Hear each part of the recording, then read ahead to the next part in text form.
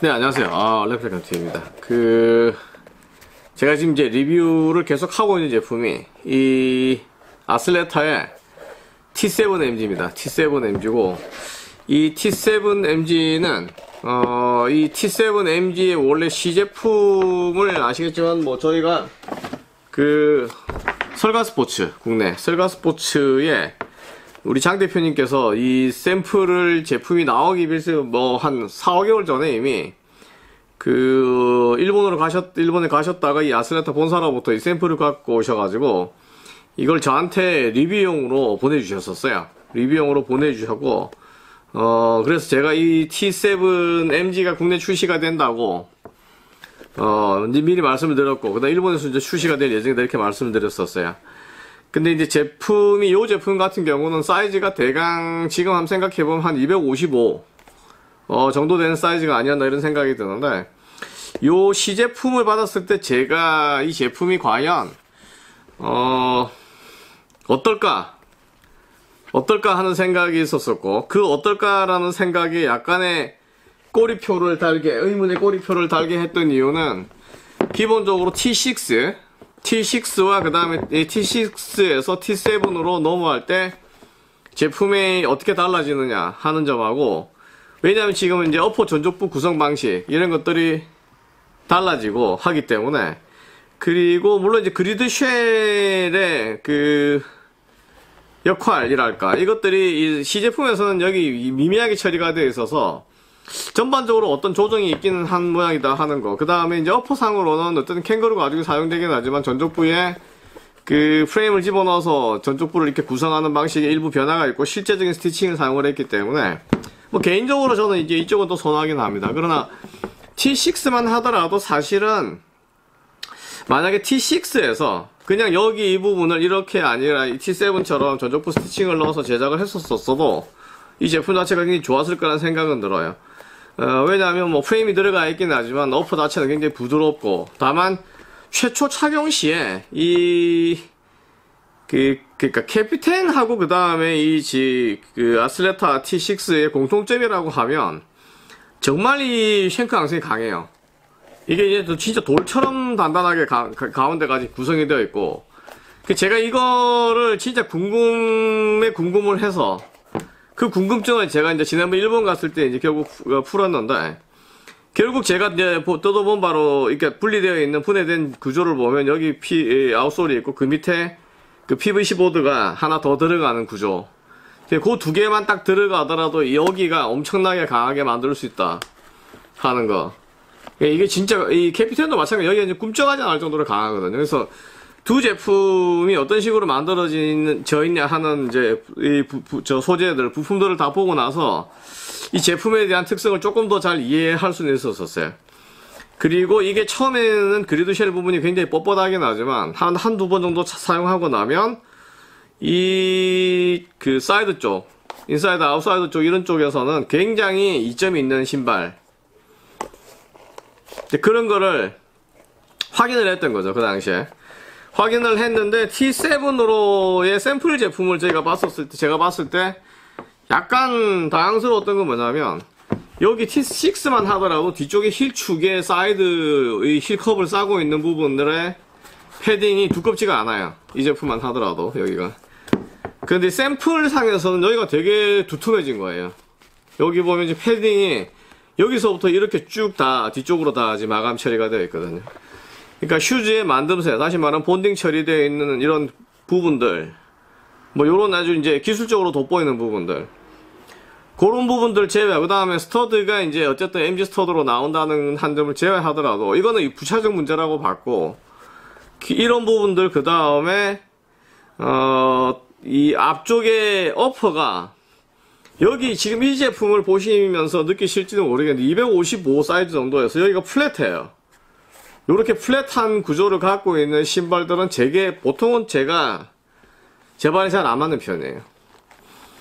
이런 대표적인 구조가 데스포르치 같이 이 전족부 뱀프 쪽이 이제 이렇게 구성되어 있는 신발들이 보통은 제가 잘 선호하지 않는 핏이거든요. 그래서 이 제품에 대한 확신이 크게 없었었어요. 그런 어쨌든 아웃솔이 이런 식으로 나온다고 스터드가 아슬레트에서 처음으로 이런 MG를 시도한다고 하면 이거는 어쨌거나 국내에서 상당한 반향을 있을 거다. 왜냐하면 이미 뭐 이런 MG 켈메에서 나오는 거 아니면 아식 아슬레타의 중국판으로 나오는 모델 이런 것들에 대해서 이미 국내에 많이 노출되어 있기 때문에 뭐 일본 제품과 다르다 하더라도 어쨌든 이런 스터드의 특성에 대한 이해가 국내 소비자들한테는 이미 어느 정도 있을 거라고 봤기 때문에 이 제품이 갖고 있는 특성에 대해서 어, 이 뒤축 힐축 부분 그 다음에 이 낮게 flat하게 구성되어 있는 부분 그리고 신발의 무게 이 상태로 무게를 쟀을 때 200 거의 50g 40몇 g 정도 되는 것 같은데 그런 좀 묵직한 무게 이런 것들이 이 제품에 갖고 있는 경쟁성이 경쟁력이 과연 있을까 하는 생각이 들었었어요. 근데 이제 공교롭게도 사실은 이 T7의 오리지널 그러니까 신집 출시되는 제품이 어 원래 2월 출시 예정인데 3월에 출시가 됐잖아요. 근데 그 사이에 2월 5일날 아식스에서 DS Light AG Pro가 전격 출시가 됐거든요. 그래서 이제 이 제품을 리뷰를 먼저 하, 어, 했, 었고 뭐 이 제품도 이미 리뷰를 한 이후에 이제 많은 국내 소비자분들이 제품 구입을 많이 하신 걸로 제가 알고 있는데 이 제품을 봤을 때 어쨌든 제가 올해 아 우리나라 국내 축구화 시장 MG 시장에서 그 라이벌이 될 만한 신발이라고 하면 푸마의 King Ultimate. 그 다음에 그 요 제품 이 두 가지 정도가 되지 않을까 하는 생각을 했었어요. 물론 나이키 Tiempo 10 AG 이것도 사실은 어, 이, 이 인조 가죽 upper 이그 인조 가죽 upper도 상당히 좋고 그 다음에 전반적인 신발의 만듦새 부분 뭐 이런 것도 나이키답게 에, 크게 흠집 잡을 수, 잡기 힘들 정도로 좋은 제품이긴 해요. 다만 이제 이 제품인 경우에 느끼는 문제점은 뭐냐면 이 나인 TM4인 경우에도 어, 나인의 경우에도 그렇고 이 10도 경우도 그런데 많은 분들이 실감을 하실지는 모르겠지만 이 제품들이 갖고 있는 특성 중에 하나가 그 제 경우에 인조구장 같은 데 사용을 하게 되면 발바닥 전체가 신발에 완전히 밀착이 되지 않는다 하는 그 느낌이 있어요. 그러니까 지금 이 제품을 보면 여기 이런 부분들이 막 본딩 처리가 되어 있고 막 그 뭐죠 이 어퍼도 되게 그 표면이 뭐라 그래야 되지 스티키하게 이렇게 그런 느낌을 주고 그 다음에 신었을 때 발에 크게 부담 없거나 너무 타이트하거나 이러지 않은 상태로 적당한 fit감으로 신을 수 있고 그런 부분들은 기본적으로 다 좋고 그 다음에 stud도 뭐 사실은 AG냐 FG냐 구분하기 힘들 정도로 구멍 파 있는 거 말고는 그냥 이게 FG다고 해도 될 정도의 stud죠. 그러니까 이런 stud임에도 불구하고 크게 잔디 상태만 좋으면 stud pressure 걱정 없이 신을 수 있기는 한데 문제는 뭐냐면 발바닥 전체 항상 제가 이 Tiempo를 리뷰할 때마다 말하는 게 그 바닥 전체가 닿지 않는다 하는. 그러니까 아치가 아예 굴곡이 큰 사람 같으면 뭐안 닿는 게 이해가 되는데 평발이 아니고 그냥 보통 정도의 저, 저 아치 구조를 갖고 있는 사람도 이 제품이 적응이 쉽다 않다는 쉽지가 않다는 거죠.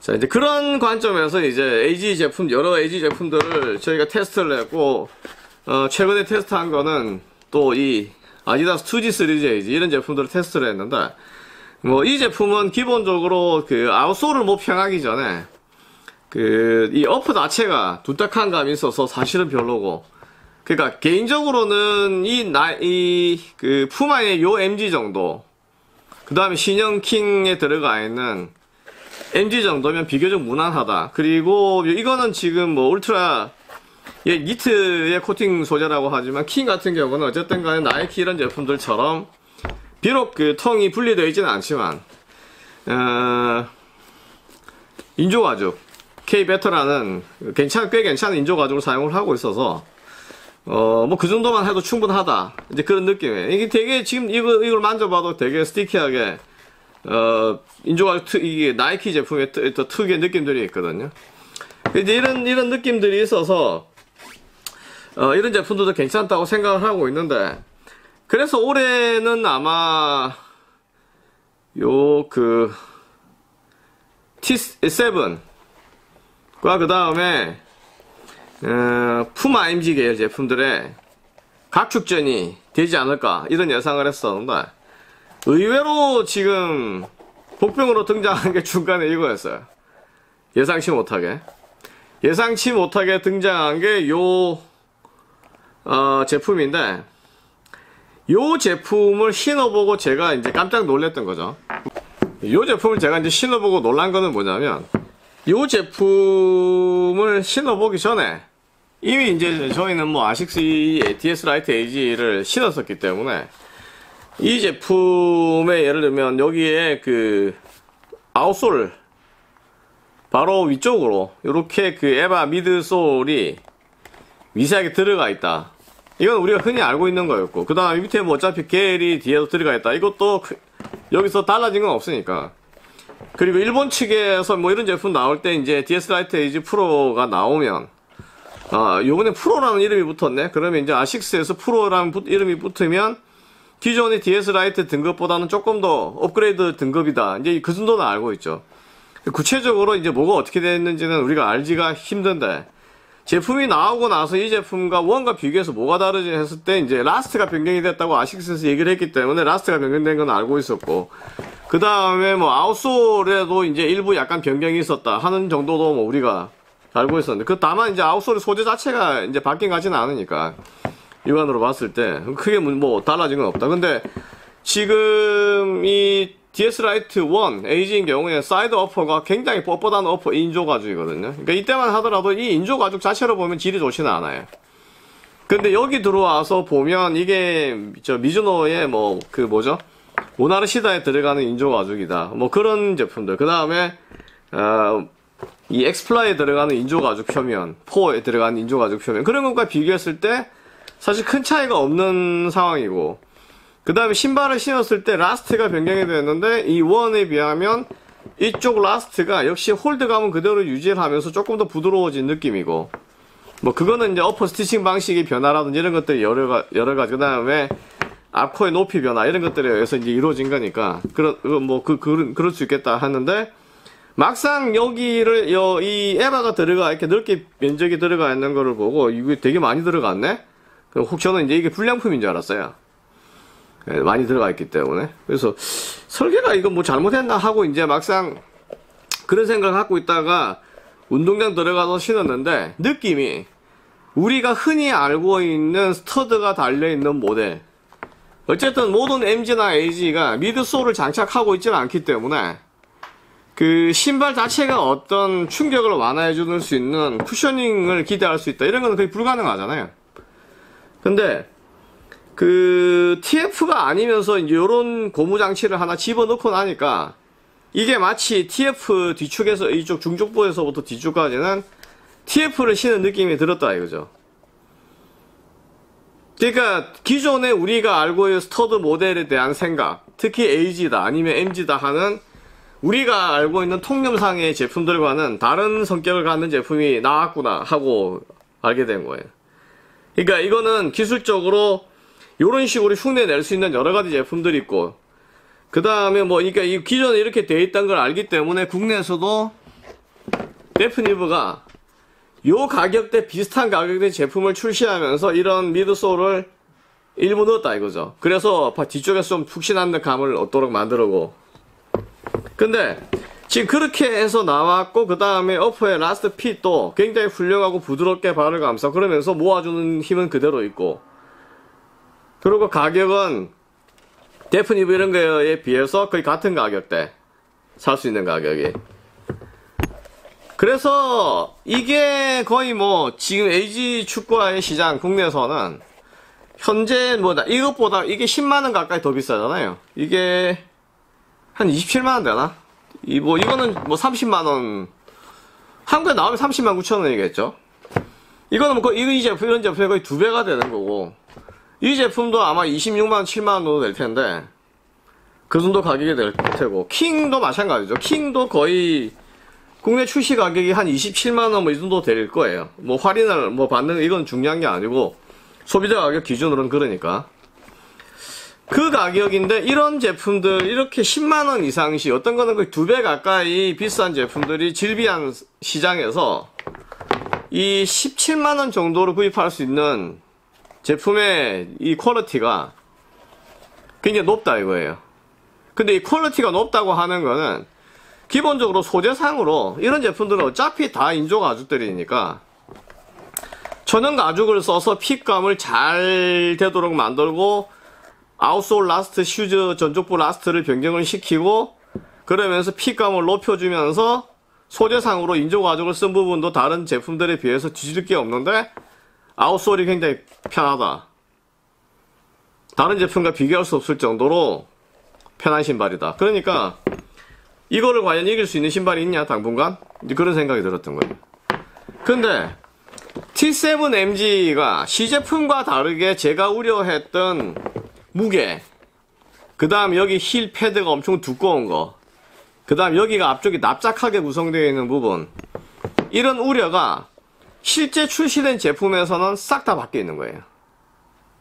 여기도 heel cup도 패딩이 그렇게 많지가 않고, 그 다음에 전족부 어퍼에 요 발등부, 저 vamp 부분이 Copa Mundial처럼 볼록 솟아 있고, 그러면서 앞코를 높여 놓지는 않고, 그래서 발가락이 이 신발 안쪽으로 딱 들어갔을 때, 발가락하고 요 전족부 쪽에, 중족부 헤드 있는 쪽까지 신발, 이 여기서 여기까지 딱 신발이, 발이 신발이 딱 물고, 물고 있게 만들어주고, 그 다음에 아슬레타는 T00, 아, A005 turf화 계열 신발들이 갖고 있는 가장 큰 특징이 뭐냐면 보통 우리가 신고 있는 일반적인 TF랑 아슬레타가 다른 점은 뭐냐면 전족부 쪽에서 중족부까지 들어오고 나서 중족부에서 그 아래 떨어지는 부분에서부터 hold를 딱 시키는 이 그 fit이 last가 예술, 예술이거든요.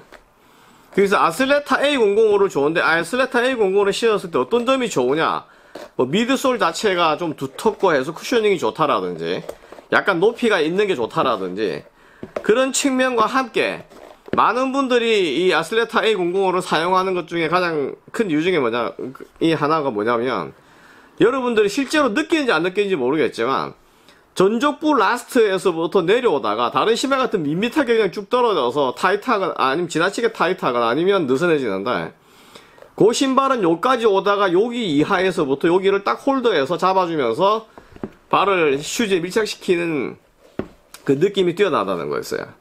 사실 그 느낌만은 본다 그러면 캐피텐이나 C3가 감히 아슬레타에 도전하기 힘들다 할 정도로 그 부분에서는 아슬레타 탁월하다 이거죠.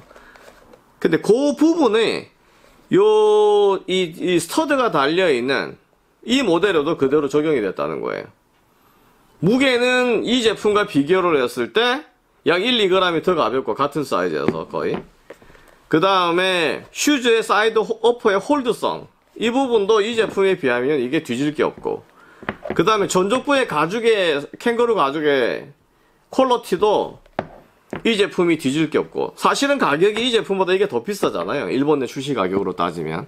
한 2천엔 정도가 더 비싼데, 사실 2천엔 정도 더 비싼 거는 크게 의미가 없다고 할 수도 있겠지만, 사실 마이너 브랜드에서 대기업 브랜드와 비슷한 가격이다 그러면, 마이너 브랜드들의 제품의 가치, 퀄러티가 상당히 있다 이렇게 봐야 되거든요.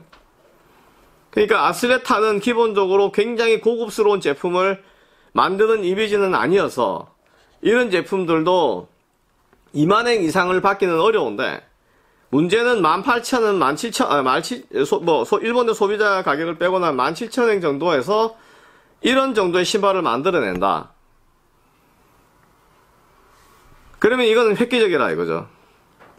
근데 단순히 가격만 이 제품의 여러 가지 대비 소재 대비로 그런 거냐? 그건 아니로 이 제품 자체 품질 자체가 좋은데 그 품질이 좋다는 게 단순하게 어퍼의 소재 뭐 신발끈이 매직 레이스를 썼다 아니면 아웃솔이 뭐 되게 튼튼하게 만들어졌다 아니면 인솔이 뭐 좋다 뭐 여기 스웨이드 처리 이런 이런 차원이 아니라 신발을 신었을 때 느낌이 어떻게 다른 제품보다 더 좋으냐 이런 부분이에요. 아식스도 물론 뛰어난 제품인 틀림없어요. 근데 아식스가 도달하지 못한, 미쳐 도달하지 못한 핏감을 좌우하는 요소 하나를 이 아스레타가 채용하고 있는데, 그게 뭐냐면, 일반적으로 지금 여기에 있는 신발들 다, 여기 미즈노 알파도 있고, 뭐 다, 여기 아식스, 뭐, 데프니브, 나이키, 아디다스, 푸마 이런 제품들이 여기 막 다 있는데, 이 제품들은 기본적으로 신발의 바닥을 이렇게 만져보면 저 끝에서부터 이 insole을 빼고 insole을 빼고 만져보면 대개 이런 신발들의 보드가 여기 있는 이 까맣게 밑에 바닥에 보이는 보드들이 평평하게 되어 있어요 그냥. 그냥 다 평평하게 되어 있어요. 당연히 평평한 게 맞죠. 왜냐면 신발 발의 안정성을 위해서는 평평해야 돼요. 근데 이 평평한 건데 사람의 발은 어쨌든 굴곡을 가지고 있으니까 그 굴곡의 대표가 아, 아치라는 거잖아요 그 아치라는 걸 갖고 있기 때문에 예를 들면 이런 아디다스 제품들도 지금 여기 바닥을 만져보면 처음부터 끝까지 발끝에서부터 끝까지 보면 그냥 평평하게 쭉 돼 있어요. 대, 대개가. 평평하게 돼 있는데 대개 이제 아치라는 걸 갖고 있으니까 신발을 안착이 되고 나면 그 아치 부분을 지지하기 위해서 대개 insole들이 이제 사이드 쪽이 약간씩 이렇게 올라와 있잖아요. 대부분의 신발들이. 이렇게 올라와 있고 뭐 나이키도 그렇고 아, 예, 아식스도 마찬가지고 그 다음에 이 뭐 가장 최신의 엑스플라이. 5도 이렇게 만져보면 평평한 편이에요. 여기만 아치 쪽만 살짝 들어져 있다고 해야 되나? 이 제품은. 그러니까 보통의 아치를 지지하는 거는 이런 식의 인솔이 담당을 하고 있고. 이 아치 지지가 아치의 각도 아치가 어느 정도 위로 올라가 있고 어느 정도 평평하냐에 따라서 사람들이 신발을 선택해야 되는 기준이 좀 달라져야 되는데 신발은 그냥 그 자체 한 가지로만 나오니까 많은 사람들이 인솔을 교체를 해서 그 어떤 형태로든지 아치 부분을 그 받쳐주는 형태로 신발을 보통 이제 만들었다 어, 만들어 왔다 이거죠. 그 그건 뭐 나이키 여기 있는 뭐 아디다스, 푸마, 미즈노 다 거의 똑같아요. 근데 이 제품은 그 지금 신발 이 인솔을 빼서 발 손을 놓고 이렇게 만져보면 아치 있는 부분에서부터 상단 부분 그러니까 아치가 시작되는 부분이 여기라 그러면 여기 있는 stud 정도라 그러면 요 stud 요 정도 stud 요 정도 stud에서부터 손을 손가락을 이렇게 만져서 올려보면 이, 이 부분에서부터 불쑥 솟아있는 게 거의 이까지 와요. 그러니까 이거는 어떤 얘기냐면 최근에 저희가 BMZ insole을 많이 소개해드리잖아요. BMZ 인솔을 소개해드리는데 BMZ 인솔의 특징이 뭐냐면 단 뭐 그 BMZ 인솔을 이제 퍼포먼스 인솔이라고 부르는 가장 큰 이유 중에 하나는 보통의 신발들이 아치를 그냥 받쳐주는 정도만 역할을 해서 예를 들면 이 아치의 정도에 따라 발이 어느 정도 잘 펴지고 어느 정도로 안 펴지고 어느 정도로 신발과 밀착감을 얻고 뭐 이런 것들이 상당히 결정이 된다 이거예요. 근데 BMZ 인솔의 특징은 뭐냐면 그 인솔 자체 아치를 설정하지 않아요.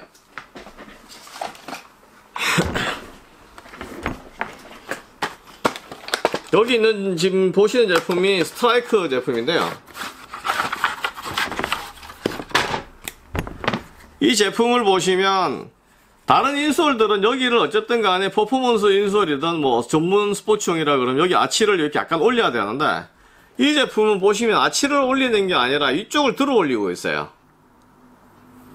이렇게.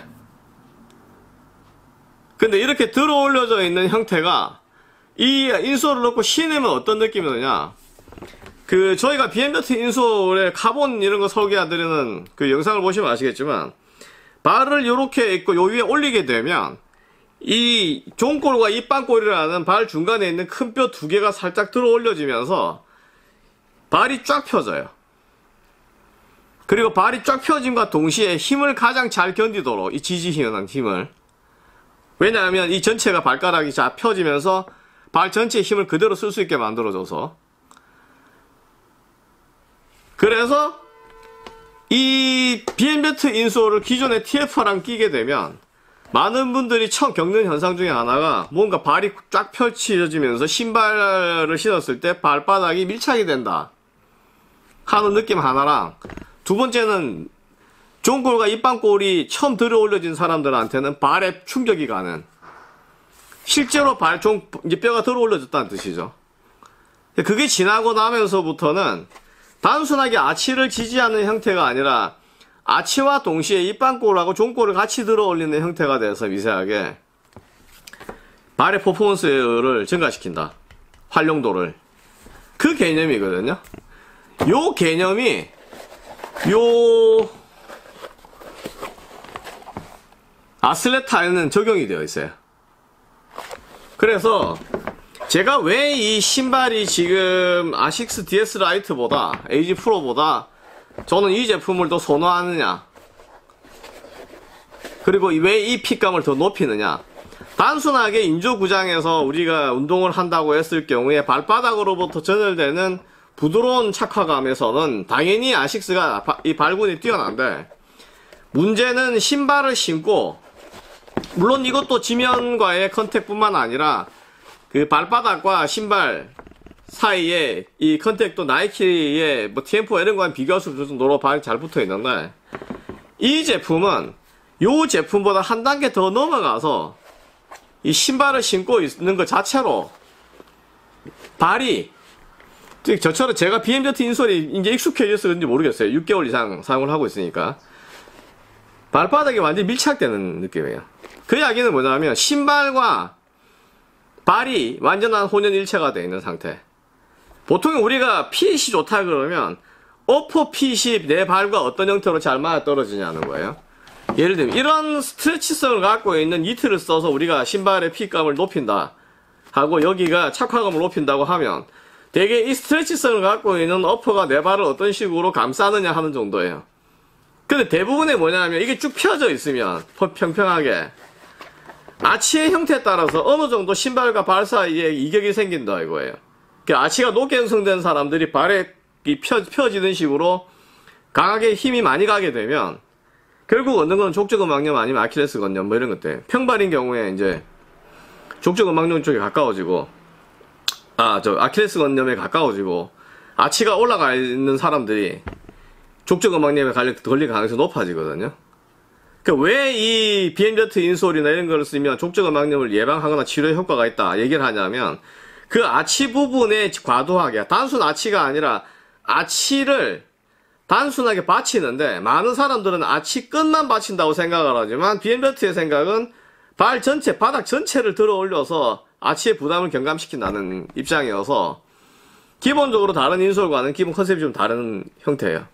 근데 이 축구화가 지금 그런 형태를 띠고 있다는 거예요. 이런 제품들 푸마나 나이키 이런 TM4도 왜 밀착이 완벽하게 안 되냐? 제가 늘 말씀드리죠. 제가 아치가 좀 높은 사람이 아니지만 오히려 평, 평평 쪽에 가깝게 아치가 높지 않은 사람에도 불구하고 이런 제품들이 밀착력이 떨어진다고 느끼는 거는 기본적으로 신발의 형태가 바닥의 형태가 발의 형태를 완벽하게 핏시켜주지 못한다는 느낌이라 이거예요.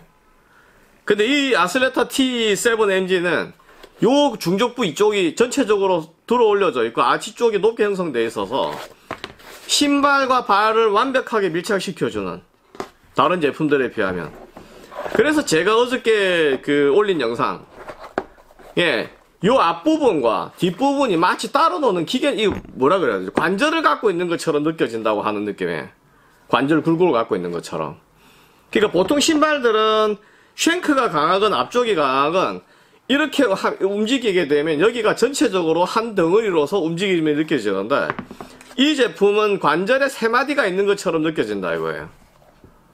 그 이야기는 내 발의 전체적인 움직임들을 정확하게 일치시켜서 움직여주게 하니까 신발을 신고 있는 자체에서 fit감을 이 DS 라이트 에이지나 이런 것들이 upper상의 fit감은 서로 굉장히 유사한 성격을 갖고 있지만 발바닥 쪽에서는 좀 차원이 다르다. 특히 경기를 하다 보면 그렇다 이거예요. 제가 어저께 했던 운동장은 인조잔디 상태가 나쁘진 않지만 보통적으로는 TF를 사용해야 되는 구장인데 그 TF를 사용하는 구장에서 이 아식스 AG 요렇게 형성, 요로 같은 소재로 만들어진 그, 그 서- stud 달려 있는 AG를 신게 되면 어제 같은 경, 경우에는 바닥의 그립이 부족하다고 느껴요. 그 사실은 TF를 신는 게 많죠. 맞죠? 왜냐하면 이 PU 소재랑 이 나일론 인조 잔디의 사이에는 마찰이 없기 때문에 stud가 박히면 stud에 의한 그립을 얻지만 잔디 상태가 짧고 누워있는 상태라면 잔디 길이 자체는 길지만 다 누워있다고 하면 stud가 박힐 여력이 없어지면 그때는 잔디의 특성, 인조 잔디의 특성과 바닥면의 특성, 이 결합이 돼서 그립을 얻어야 되는데, 그 경우에 그립을 얻어 얻는 제일 좋은 방법은 뭐냐면, 결국에는 TF예요. 그 경우에는. 그래서 이거를 두, 두 쿼터 정도를 신다가, 미끄러지진 않았지만, 여기가 계속해서 미끄러운 느낌, 바닥으로부터. 이 생기니까. 어쨌든 이제 이 stud 모델을 테스트를 해보기 위해서 제가 신었던 건데, 이거를 신고, 그 다음에 왜냐면 여기가 있는 midsole이 최소화되어 있는 AG 모델이기 때문에 이 모델과 비교를 하는 건 의미가 없고 이 모델과 한번 비교를 했을 때 어떤 느낌인가 발의 충격 이런 거를 비교하기 위해서 했는데 요거를 벗고 이거를 신었을 때 소재상으로 보면 여기도 크게 다르진 않아요. 여기에 있는 소재들이. 근데 많은 사람들이 생각하기에 여기에 있는 스터들이 되게 작고 이러니까 요게 더 요 아식스 제품들에 비해서 이게 더 스터드가 길다고 느끼세요 근데 그거는 이거랑 똑같죠. 어, 그, 저 착시 현상을 일으키게 하는 둥글고 두꺼운 것과 그 다음에 가늘고 작은 거를 같은 길이상에 비교를 해놓으면 어떤 게 더 기냐 물어보면 예를 들면 뭐 가는 쪽이 더 길다고 느끼거나 이런 이런 것들 실험들 있잖아요 유명한. 근데 그런 거와 비슷하게 이게 길다고 느끼는데 실제로는 길지가 않아요. stud의 높이는 둘 다 10mm로 동일해요. stud가. 근데 stud가 작은 stud들이 골고루 퍼져 있어서 어제 같이 운동했던 팀의 그 저 우리 유관도 같은 경우는 이런 이 제품이 과그립 선배님 생기지 않을까 이렇게 얘기를 했는데 그 저도 이제 의심이 되니까 과연 이 형태로 실제로 운동장에 들어가면 어떨까? 물론 잔디가 누워 있었기 때문에 과그립을 염려할 정도는 아니었는데 제가 염려해야 되는 사항은 이쪽 스터드들의 그 미끄러움 그립 부족을 이런 스터디였을 어떨까 했는데 문제는 뭐냐면 이것보다 잔디 상태가 안 좋았을 때 이 스터드가 더 그립이 좋았다는 거예요. 안 미끌리고. 그러니까 그립성도 더 좋고 근데 만약 잔디가 길어지면 어떠냐 그러면 서 있고 당연히 이게 좋을 수밖에 없죠. 왜냐하면 stud가 그립을 발생시킬 수 있는 구조가 가늘고 하기 때문에 더 깊이 더 많이 박힌다고 보시면 돼요. 물론 이제 다음 주에, 그러니까 이번 주죠. 이번 주에 실질적으로 제가 그렇게 테스트를 할 수 있는 구장에 갖고 들어가서 신기는 할 텐데, 어, 이 제품은 어쨌든 간에 DS Light AG가 갖고 있는 그런 cushioning 자, 장치가 없긴 하지만, 인조 잔디의 상태가 어느 정도 괜찮기만 하면, 그래서 이 제품을 신을 수 있는 구장이라 그러면, 이것도 당연히 신을 수가 있고, stud 길이 걱정할 거 없이. 더 좋은 거는 뭐냐면, 즉각적인 발의 퍼포먼스 상에서 느껴지는 감각. 신발과 발의 일체감, 밀착감, 이거는 이것보다 오히려 이게 더 뛰어나다. 말씀드렸지만 outsole이 마치 관절을 갖고 있는 것 같은 느낌을 주면서 슈즈 굴절성을 갖고 갖춰준다 이거예요. 그러니까 이게 이 제품의 가장 큰 특징이고 개인적으로는 이 제품과 둘 중에서 어떤 거를 계속 사용할 것이냐 같은 인조구장 조건이라 그러면 전 당연히 이걸 갖고 있습니다. 물론 이게 미드솔에 이게 들어가 있어서 좋긴 하지만 개인적인 성향으로 보면 저는 이렇게 쿠셔닝이 있는 것도 굉장히 편한 거는 알겠는데 좀 더 밀착감이 있고 단단한 느낌을 주고 다시 말하면 에이지이긴 하지만 스파이크의 느낌에 본연에 가까운 거. 그러면서 볼 컨트롤성이나 임팩트성 볼 contact 이런 것들에서 이 제품이 발군이 되더라 이거죠. 제 개인적으로는 어, 이 제품은 사실은 지금 이 가격대라 그러면 이게, 아, 그래도 우리가 알고 있는 엘리트 제품에 비하면 약간 프로 개념의 제품이 아닌가 이런 생각하실지 모르겠지만, 제가 보기에 이거는 이 MG나 AG 기준으로 본다 그러면 독보적인 엘리트급의 제품이에요. 구입을 망설일 필요가 없는. 그러니까 인조 잔디에서 내가 공을 찬다. 그리고 stud 있는 모델을 현재 사용 중이다. 뭐 미즈노 MD라든지 뭐 아, 뭐, 아디다스, 푸마에 나오는 뭐, FG나 AG를 신고 있다. 아니면, 이, 푸마에, 뭐, MG 이런 걸 신고 있다. 그런 분들 다 통틀어서, 제가 봤을 때, fit상으로서 one top. 다시 말하면, outsole과 insole, 아, upper를 통합한 개념으로 신발이. 어떤 제품들도 되게 말씀드리, 반복해서 말씀드리지만, upper가 이렇게 형성이 돼 있고 하면, 이렇게 upper가 형성이 되어 있고 이게 tongue 분리든 뭐 저기 뭐 일체형이든 상관없이 이런 식으로 되어 있는 구조에서 이 구조에서 바닥이 평평하게 되면 사실은 밀착성이 딱 확보되기가 쉽지가 않죠. 근데 만약에 바닥이 밀착 발바닥 자체가 신발의 어프에 밀착성이 있다고 하면 보통 이런 제품들이 기대하기 힘든 발바닥과 신발 사이의 밀착력에 있어서의 차이. 거기서는 이 Athleta T7이 훨씬 낫다 이거예요. 그렇게 되면 제, 제, 제 같은 경우에 이거를 신을 이유가 있나? 뭐제 경우에는. 그냥 이거를 계속 어차피 잔디 상태가 좋은 데 들어가서 공을 차는 거니까 인조 잔디고 그 다음에 대신에 뭐 MD라든지 이런 축화를 굳이 신을 필요 없이 조금 더 발에 충격이 완화될 수, 분산될 수 있는 stud 구조를 갖고 있는 신발이 어, 이런 류의 제품들보다는 어차피 낫지 않느냐 보면. 이, 거 지금 아, 앞에 카로보 들어가 있어서 초광성인데요. 이런 것들은 어쨌든 간에 탄성을 이용할 수 있을지 몰라도 추진력을 얻기 위해서 발이 편하지는 않거든요. 근데 이런 제품들은 전족부 쪽에 이 부분들이 부드럽게 움직임과 동시에 이쪽 부분은 이 가운데 지금 이 스터드를 쭉 다 배열시키고 해서 중간 부분에 쉔크 강성을 엄청나게 높여놓진 않았어요. 근데 그래도 굉장히 단단한 구조예요. 그 이런 구조에 그 다음에 중간 부분을 들어 올려서 높게 형성을 해서 발이 신발이 밀착되도록 완벽하게 밀착되도록 만들었다. 이거는 거의 신의 한 수가 아닌가 하는 그런 느낌을 받습니다. 어, 어째까지나 지금까지 제가 여러 가지 뭐 FG, 뭐 축구와 뭐 TF와 뭐 이런 거 여러 가지 신어봤는데, 사실은 뭐 stud가 달려있는 모델, 제가 최, 뭐, 제 평생 통틀어서는 모르겠지만, 최근 한 10년간, 그러니까 지금 기준이 2024년이다. 그러면 최근 10년간 한 2014년 아니면 2010년 정도에 TF로 따지면 뭐 예를 들면 파루카스 정도를 가장 좋은 축화로 생각을 하는데 stud 있는 모델인 경우에는 사실 이 정도의 fit감을 제공해주는 축화는 못 봤어요. 그러니까 제품을 사자마자 과연 이 정도 핏이 나오느냐 그리고 이 정도의 스터드나 이런 발편함 정도 안정성이 나오느냐 발을 밀착을 시켜줄 수 있느냐 하는 제품은 못 봤다 이거죠. 물론 그러한 밀착저 정도가 미세한 차이가 있어서 이 제품을 어, 선호하시는 분도 계실 수 있어요. 왜냐면 부드러운 거 있기 때문에. 요거는 거의 이제 개인의 취향 문제. 다시 말하 나는 조금 더 cushioning이 있는 쪽의 신발을 더 선호한다. 그러면 이쪽으로 가는 게 발이 편하다고 느끼는 거고 요거는 나는 좀 더 퍼포먼스 쪽으로 가고 싶다. 그러는 분들은 그 다른 종류의 stud가 달려있는 거 굳이 고려하실 필요가 없어요.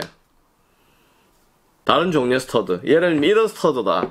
뭐 이런 K베터의 이런 stud들이다. 아니면 이런 거다. 2G, 3G다. 이런 거를 전혀 고려하실 필요가 없이 그냥 이 제품으로 가시면 웬만해서는 다 만족할 수밖에 없다. 신발의 이 구조가. 보면. 그러니까 잘 만들, 굉장히 잘 만들어지는 신발이 어떤 건지, 잘 연구되고 잘 개발된 신발이 어떤 건지 하는 것들을 잘 보여주는 신발이에요. 소재상으로 특별할 거 없지만, 그리드쉘 같은 거는 어쨌든 뭐, 프레임이 들어가고 이런 것들에 흔한 거고, 캥거루 가죽이 뭐 사용되고 동원되고 이런 거 편한 거지만, 그래도 하나하나 각 부분들을 형성하고 있는 뭐 grid shell의 bonding 처리, 그러니까 여기에 있는 그 겉면이 지금 이게 그냥 인조 가죽이 아니라 요 그 코팅 엎혀져 있는 부분 미세한 짧은 천이거든요. 그 천에 인조 가죽과 라이닝과 패딩을 처리하고 스웨이드를 처리를 하고 이런 방식들. 이 tongue도 마찬가지고. 그러니까 이런 종합적인 거를 봤을 때 현재 현존하는 AG에서는 퍼포먼스 차원에서는 이게 one top이다. 실용적 측면에서 예를 들어서 퍼포먼스를 단순히 착용 상태에서 뭐 원톱을 꽂으라면 당연히 이게 될 수밖에 없겠지, 없겠지만 퍼포먼스 차원에서 원톱이다. 둘 사이에 발의 피로도 차이가 있을 수 있느냐? 있을 수 있다고 봐요. 왜냐하면 어쨌든 미드솔에 에바가 들어가 있는 과 그렇지 않은 것은 차이가 있어요. 그러나 보통 한 90분에서 120분 정도의 운동을 한다 그러면 두 신발 사이의 피로도 차는 크게 크지 않을 거라고 봐요. 왜냐하면 여기는 어쨌든 미드솔에 충격을 흡수를 하지만 이 경우에 BMZ 인솔 같은 거의 그 기본 원리들도 어쨌든 발을 쭉 펴서 퍼포먼스를 향상시킨 것 동시에 발의 전체적인 정렬도를 높이게 되면 여러 가지 발목이라든지 무릎이라든지 허리에 전달되는 충격을 줄여주는 요소들이 있기 때문에 그런 측면에서 두 제품은 정말 막상막하다. 정말. 그러니까 뭐가 더 낫다, 뭐가 더 뭐 못하다 이런 차원의 문제는 아니라 내가 둘 중에 어떤 거를 선택할 거냐에 문제가 남는다. 보면 난 어느 쪽으로 할 것이냐. 보면 개인적으로는 말씀드렸지만 반복해서 말씀드리면 저는 퍼포먼스 쪽으로 가서 그냥 사- 인조 단계 상태 좋다 그러면 당분간은 이 제품을 사용할 가능성이 이거 사용하는 가능성보다 높아요. 제 개인적으로는. 다음 요번 주 요번 주에 어차피 저희가 상태가 좀 좋은 운동장에서 어, 인중구장에 또 경기를 할 예정이기 때문에 추가 테스트는 그 경기장에서 어, 운동을 해보고 어, 다시 또 피드백을 또 알려드리도록 하겠습니다. 실제 에, 좋은 운동장 인조단지 상태 좋은 데서는 과연 어떤 느낌이었냐 하는 점도 그 다음 발의 피로가 어떤가 그 다음 실제 스터드의 그립성이 과그립이 생기는지 안 그리는지 이런 부분들을 어, 추가적으로 테스트를 하고 또 알려드리도록 하겠습니다.